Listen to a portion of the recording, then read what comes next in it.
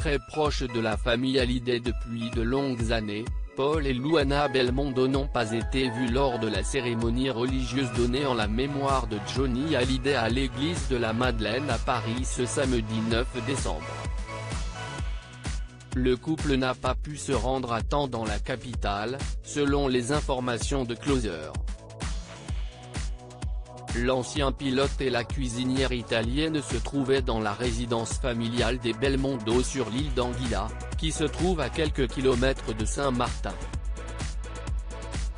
Ils n'ont pas pu se joindre à d'autres célébrités présentes à la Madeleine comme l'humoriste Danny Boone, les chanteurs Patrick Bruel, Marc Lavoine, Pascal Obispo, Thomas Dutronc ou encore les acteurs et actrices Jean Dujardin, Guillaume Canet et Marion Cotillard. En revanche, Luana Belmondo et son mari Paul ont pu répondre présents ce lundi 11 décembre lors de l'inhumation de leur ami Johnny Hallyday au cimetière de Lorient de Saint-Barthélemy.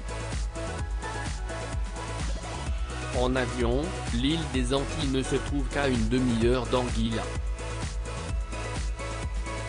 Ils ont pu soutenir Laetitia Hallyday et les enfants aînés de la rockstar, David Hallyday et Laura Smet, lors de ce moment très émouvant et difficile.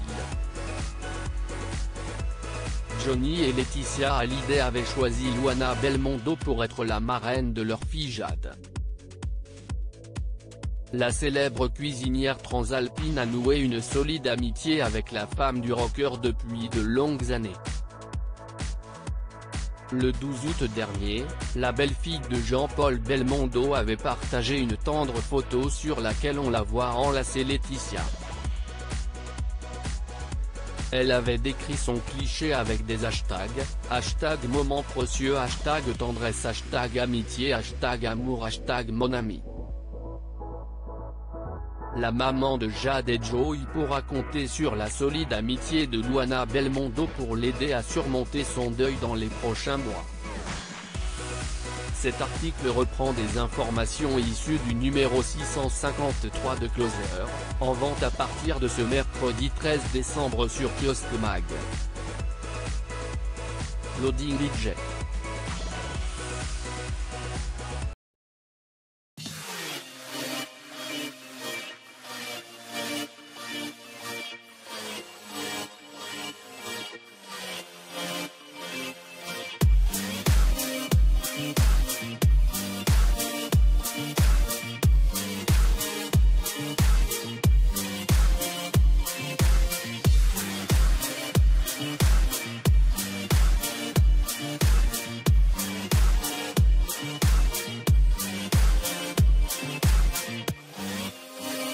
Bye.